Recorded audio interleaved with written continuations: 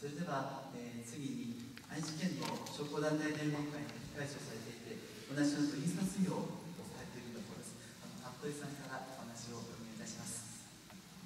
はい。えー、皆さんこんにちは。あの私が与えられたテーマは商工業者の立場で本物の地方事情を考えてほしいというテーマです。今日の発言するようになりました。私稲沢に住んでますので若干稲沢の編成を追い立ちながらその中から地方自治体に臨んでみたいこととして、えー、文章を書きました。読んで報告させていただきます。稲沢市は1955年に近隣山村と合併して新稲沢町になり1958年に稲沢市そして2005年に近隣2町と合併して新稲沢市4万6027世帯人口は13万6965になりました。市政施行当時は農業が最も主要な産業でしたが1960年代に繊維工業が出荷額において製造業内で圧倒的に第1位を占め製造業が本市第1位の産業になりましたしかし1969年から繊維等の軽工業より機械等の重化学工業の比重が高くなり内陸型重化学工業を中心の工業構造が確立しましたが1975年頃から工業の伸びが停滞し工業都市としての将来展望が難しくなりました。1985年の出荷額は機械工業が約754億円で第1位。非鉄金属産業が約580億円で第2位。電気機産業が約453億円第3位。化学工業が約305億円で第4位。繊維工業は約276億円で第5位まで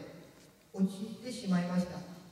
この繊維工業の衰退事業所の縮小撤退が商業大型店の進出を招きました。繊維工業の敷地面積は大東京よりで16万3800平方メートル大和鉱石で15万879平方メートルと巨大なもので市内にいくつもあり大型店同士の進出競争が始まりました。卸小売業も1995年から飽和状態になり現状推移するものと思われます。そんな中で医療福祉を中心とするサービス業が就業者数構成比でも一貫して増え続けています。今後も増えて伸びていく傾向になります。本市から他市に出勤している流出人口ですけども1960年6200人で就業者数全体の22.9%でしたけども2000年になって2万7490人51.6%となり働く人の半分以上は市外へ働きに行く。特にまあ近隣市町村の名古屋の方へ行くそういう方が多い。ベッドタウン的な性格が今後も強くなっていくそういう稲沢の将来が推移していくだろうと予測できます。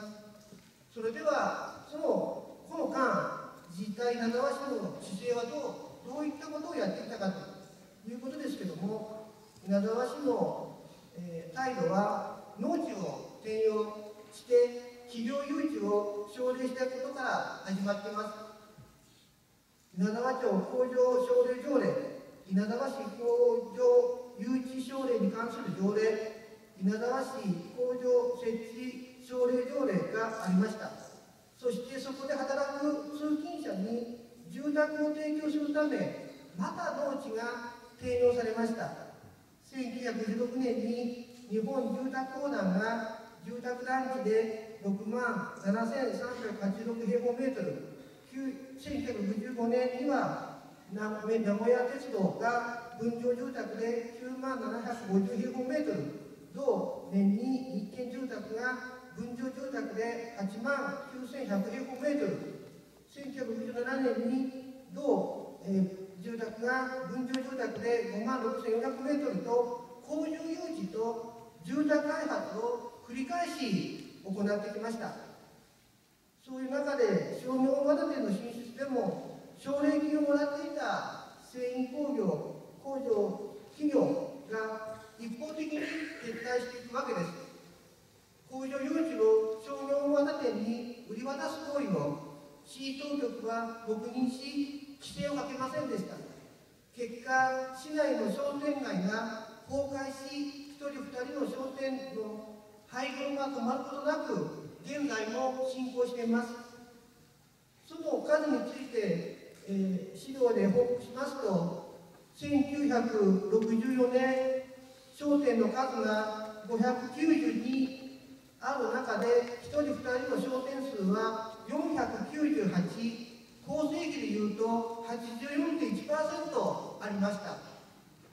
50人以上の従業員のいる商店数はありません。ところが、えー、2007年ですけども商店の数が1181一人二人の商店数は469構成比は39.7%まで落ちました。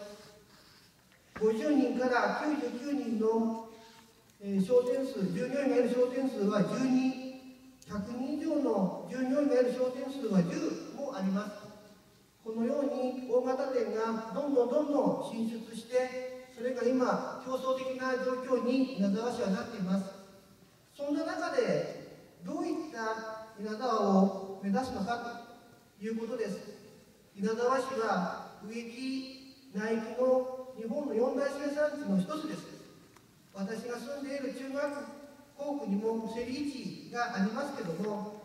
荷の扱い量が減って手数料収入が激減して経営困難に陥っています。者が廃業し借りていた農地が返却され90歳前後のそういった農法ができなくなるふうになっています。結局農地が返されても耕作放棄地が増え続けている状態です。また1969年にソニーが4万9349平方メートル私の中学校区に企業用地で進出してきました。現在国内唯一のソニー製テレビの生産工場従業員1000名働いています。ところが海外移転計画で全面撤退の不安が広がっています。私の当時の中学校の卒業生が金の卵として就職した時代でもありました。私は地域社会にはさまざまな住民が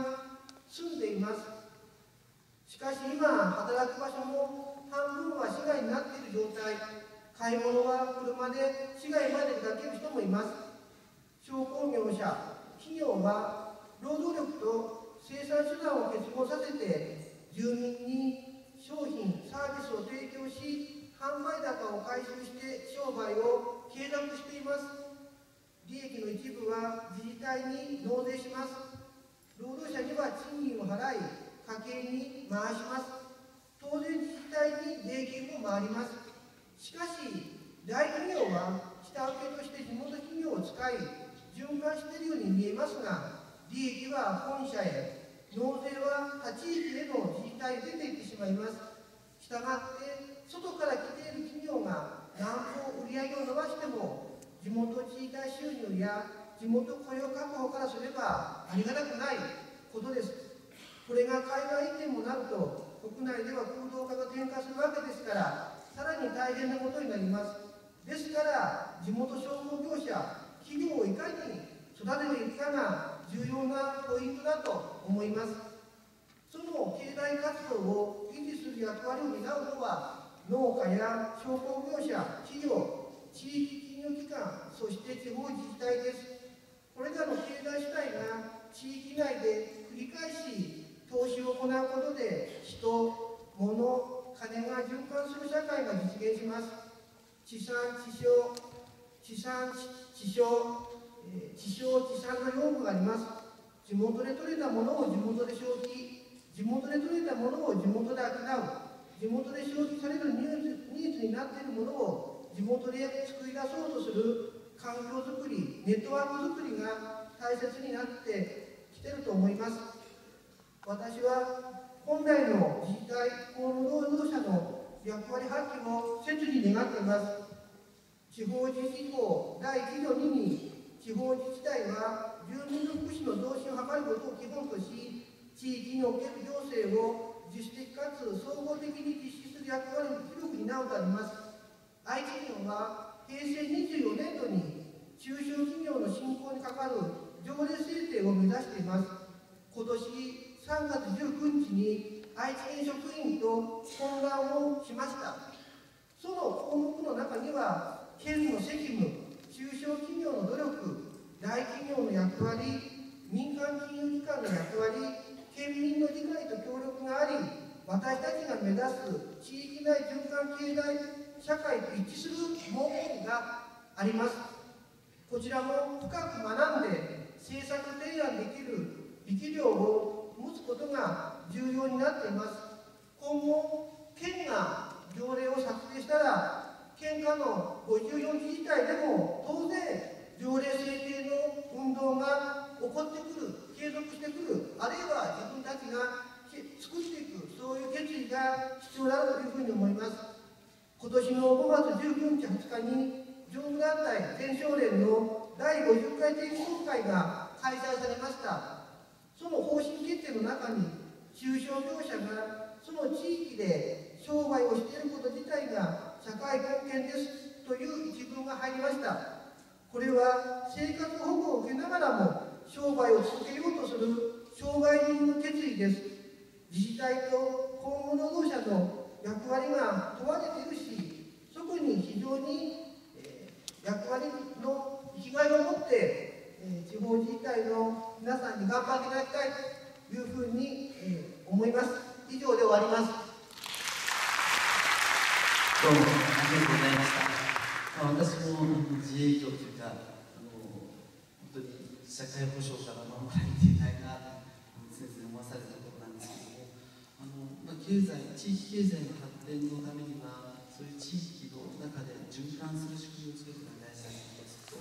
あのよく言われるのはその、まあ、イノベーションというんですかね地域にあるさまざまな分野課題とかニーズとかというものをの中に認知を見出して隙間ですよね見出してそこから仕事を起こしていくというそういうものがこう続発していくことによって地域経済経済が発展していくんだなという話があるわけですけどもいずれにしてもその自営業者が地域で営業することが地域とさまざまな関わりを持ちながらその中にその商機を生み出していくというかあの商いをしていくということが大事なんだと思うんですけどもそういう地域で交流をしていく他の分野の人たちとその商売だけじゃなくてさまざまな消費団体でありいろんなものがあると思いますけどもそういうその横のつながり交流というのをその服部さんご自身またはその民商ないしあの商団員としてどんな取り組みはやろうとしているのか何かありましたら教えていただきたいでしょうか実はあの印象印刷業を営んでいてねあの機械を購入したのが1991年4000万円で借金をして購入しましたあのコンピューターにかける連続帳票なんですけども今は A4 の紙にレーザーでファックスレーザーで全部枠取りもしてありまして印刷がいらない時代になりました。よって機械の処分を3年前からお願いしたんですけどももうどこも買い手がなくて、え去年の12月に、鉄くずとして4000万の機械が3万9000円で、え処分していただきました。よって今あの実は、60万6つぐらい並ぶ秋秋の店舗が秋の広場があるんです。それで私も、まあ、民商の役員やっておりまして地域であのそういう人たちがねあの交流できる場ができるかということで実は8月1日から、えー、地域交流広場縁側というのを立ち上げようと思って今準備しております。市の方のその事業でねそういう地域の高齢者の方を対象にした生きがいを持ったそういう場をあの提供する人に対して1週間1回限度ですけども5000円補助するという制度がありましてそこにちょっと目をつけてあのやっていきたいなと思うんですね。それで私も、まあ、これからずっと死ぬまで商売続けていこうと思うし地域の中で高齢者の方障害者の方あるいはいろんな方々もそういうふうなあの場の交流に来る中で星田側からテーマを設定するわけなく相手のいろんな状況に即してきちんと対応して、えー、市町村の方の自治体の方につなげてね頑張っていきたいなというふうな、えー、自分も障害人としての生き方も示しながらやっていきたいな。で印刷の方もね あの月か木金は印刷の仕事をして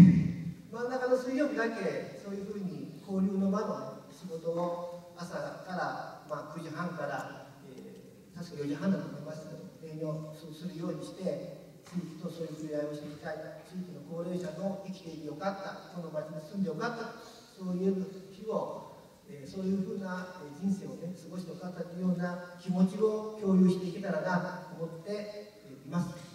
答えになったかどうか分かりませんが以上です。いや、いいです。あの、ここに希望をいただきました